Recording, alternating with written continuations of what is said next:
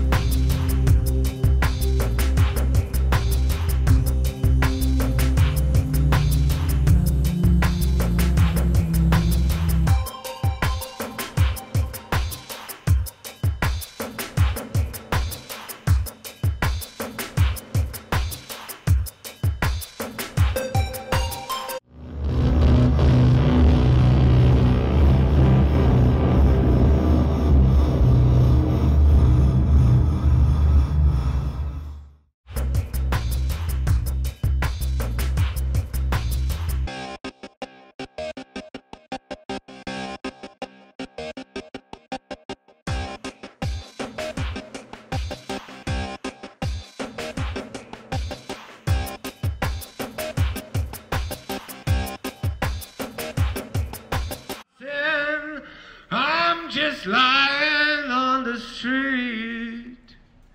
There's a bar right behind me, and I'm stuck